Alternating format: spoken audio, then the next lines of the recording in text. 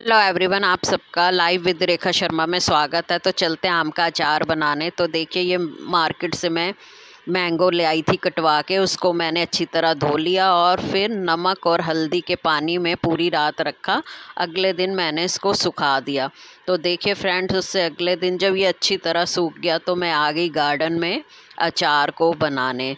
तो देखिए यहाँ पर ऐड कर दिया मीठी सौंफ दरदरी पिसी हुई मेथरे दरदरे और ऐड कर दिया कलौजी भी दरदरी। ये डेढ़ सौ डेढ़ सौ ग्राम है और एक बड़ा चम्मच जीरे का ऐड कर दिया बड़ा चम्मच सरसों का और ऐड कर दिया यहाँ मिर्च को एक बड़ा चम्मच ऐड कर दिया हल्दी एक बड़ा चम्मच क्योंकि हल्दी हमने पहले ही डाली हुई है और ऐड कर दिया इसमें नमक। तो नमक एक कटोरी के लगभग है बड़ी एक कटोरी।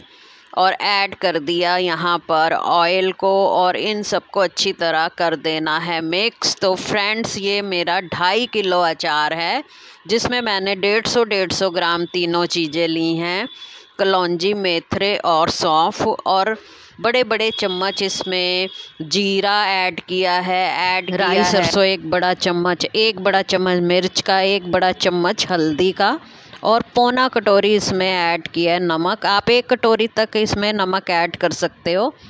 ताकि हमारा अचार ख़राब ना हो। देखिए फ्रेंड्स अचार बनाने के लिए तीन चीज़ें इंपॉर्टेंट होती हैं कि जिस चीज़ का अचार हम डाल रहे हैं वो सूखा होना चाहिए, उसमें तेल अच्छा होना चाहिए और नमक भी उसमें अच्छा अच्छे मात्रा में होना चाहिए। तो देखिए, यहाँ पर हमारा अचार हो गया तैयार। इसको अच्छी तरह मैंने मिक्स कर दिया ऊपर नीचे हिला के और यमी यमी अचार बनकर हो गया तैयार। आप इसको इंस्टेंट भी खा सकते हो या एक दो दिन की धूप लगवा दीजिए और आराम से पूरे साल चलाइए। तो कैसा लगा अचार? इसी के साथ bye bye and take care friend